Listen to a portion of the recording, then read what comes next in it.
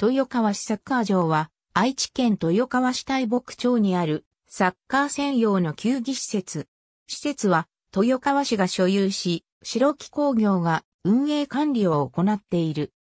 1994年、当時日本女子サッカーリーグに所属していた白木 FC、セレーナの専用グラウンドとして、ホイグン一宮町の白木工業社有地内に白木、セググラウンドとして開設され、1998年にセレーナが休部、解散するまでは、同チームの本拠地として利用されていた。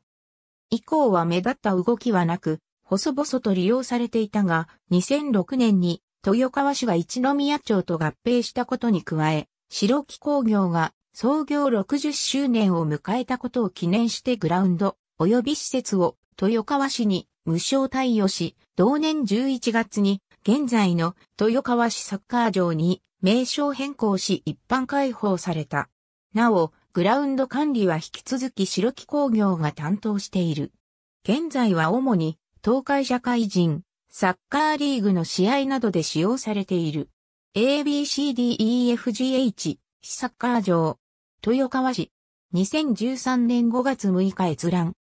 AB、サッカー場を無償貸与白木工業が、豊川市へ来月から開放、白木工業、http コロンスラッシュスラッシュ www.shiroki.co.jp スラッシュトピックススラッシュ